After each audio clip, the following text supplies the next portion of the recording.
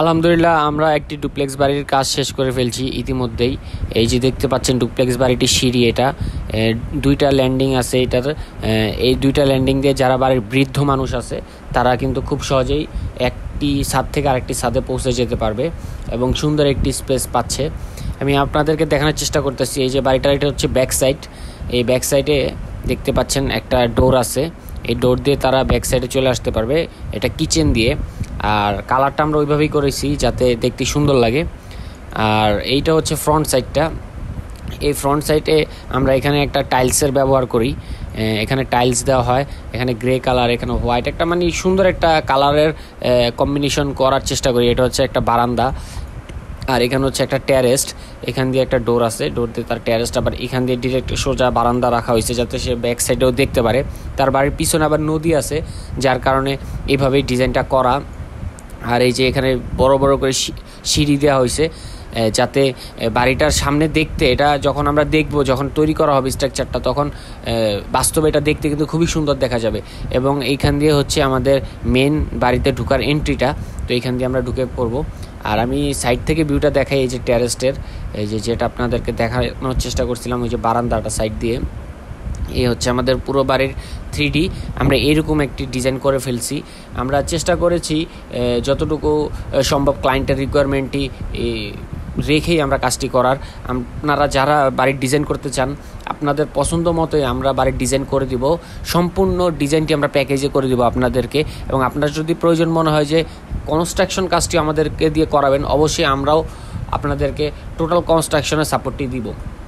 তো আমি এখন চলে যাব ডিরেক্ট এই ডিজাইনের ফ্লোর প্ল্যানটায় এই যে এখানে যে দেখতে পাচ্ছেন, এটা হচ্ছে গ্রাউন্ড ফ্লোর প্ল্যান এই গ্রাউন্ড ফ্লোরে এই যে আপনারা দেখতে পাচ্ছেন, এটা হচ্ছে একটা বেডরুম এটা হচ্ছে একটা ড্রয়িং রুম এটা হচ্ছে একটা ডাইনিং স্পেস, এটা ডাইনিং স্পেস, এটা কিচেন।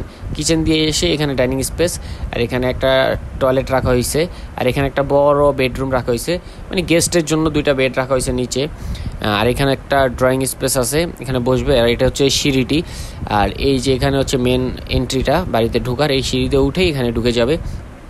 এ হচ্ছে বাড়ির গ্রাউন্ড ফ্লোর প্ল্যানটি এবং আমরা এখন চলে যাব ডিরেক্ট ফার্স্ট ফ্লোর প্ল্যানে এই যে ফার্স্ট ফ্লোর প্ল্যানটি দেখতে পাচ্ছেন, এটা হচ্ছে ফার্স্ট ফ্লোর প্ল্যান সিঁড়িতে উঠেই কিন্তু আমরা এখানে দুইটা রুম পাচ্ছি।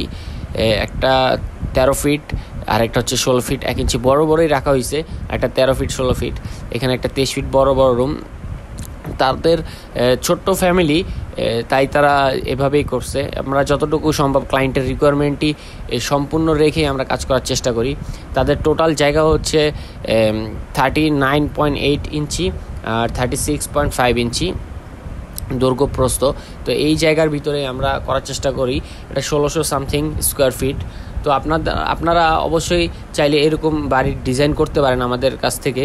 তো আপনারা যারা বাড়ির ডিজাইন করতে আগ্রহী আছেন বা করার জন্য চিন্তা করতেছেন, তো অবশ্যই আমাদের সাথে যোগাযোগ করতে পারেন। চেষ্টা করব আপনাদেরকে সম্পূর্ণ বিল্ডিং ডিজাইনের কনসালটেন্সিটি সার্ভিসটি দেওয়ার জন্য।